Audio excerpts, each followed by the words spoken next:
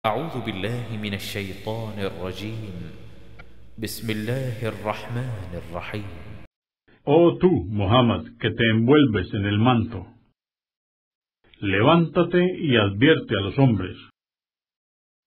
Proclama la grandeza de tu Señor. Purifica tus vestimentas. Apártate de la idolatría y no des a los hombres para obtener un beneficio por ello. Sé paciente ante las persecuciones de los idólatras con fe en tu Señor.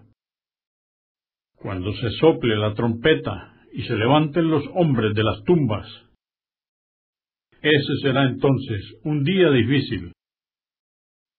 Nada fácil para los incrédulos. Deja que yo me encargaré de aquel que he creado y vino al mundo solo. Esta es una alusión a Al-Walid ibn al-Muhira, enemigo de Alá y del profeta Mohammed, a quien concedía abundantes riquezas y numerosos hijos que estuvieron a su lado, y le facilité los medios en esta vida mundanal, y aún así anheló más. Pero no se lo concedí, pues rechazó mis signos. Por cierto, que le haré subir por una cuesta del infierno. Él pensó y decidió negar el Corán. Y fue maldecido por lo que decidió. Sí, fue maldecido por lo que decidió.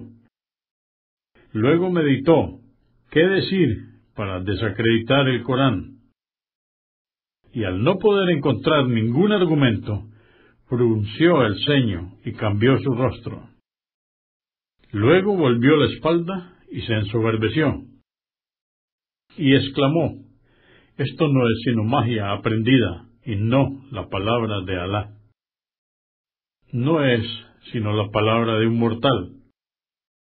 Por cierto, que le arrojaré al fuego del infierno. ¿Y qué te hará comprender qué es el fuego del infierno? Es un fuego que no deja nada sin quemar, ni cesa jamás. Abraza la piel. Hay diecinueve ángeles severos que lo custodian. Decretamos que los guardianes del infierno fueran ángeles, y dispusimos ese número para extraviar y castigar aún más a los incrédulos. También para que la gente del libro, judíos y cristianos, se convenzan y crean, ya que el número de ángeles que custodian el infierno concuerda con el que se encuentra en sus libros, la Torá y el Evangelio originales.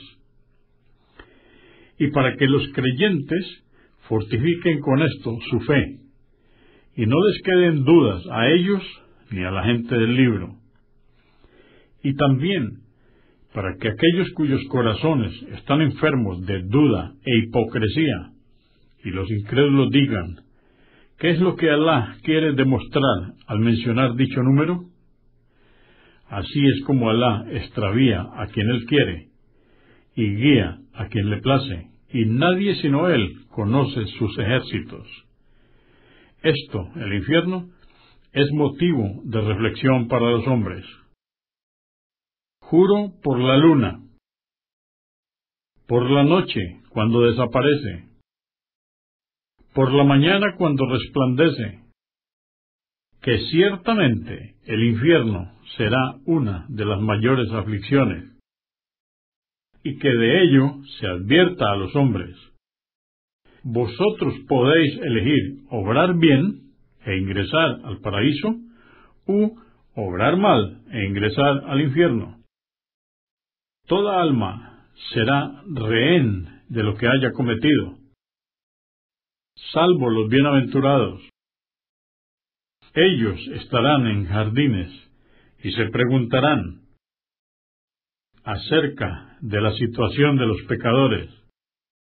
Entonces, Alá hará que puedan verlos como si estuvieran cerca de ellos, y les preguntarán, ¿qué es lo que os condujo al fuego del infierno?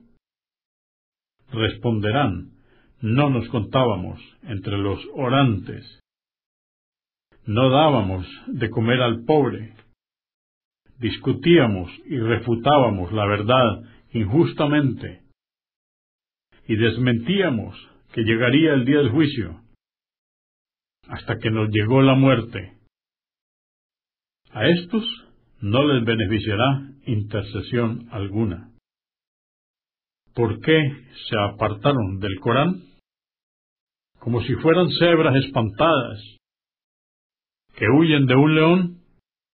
Todos ellos quisieran que páginas desplegadas descendieran del cielo, que les confirmase que el profeta Muhammad se presentó ante ellos con la verdad, para entonces creer.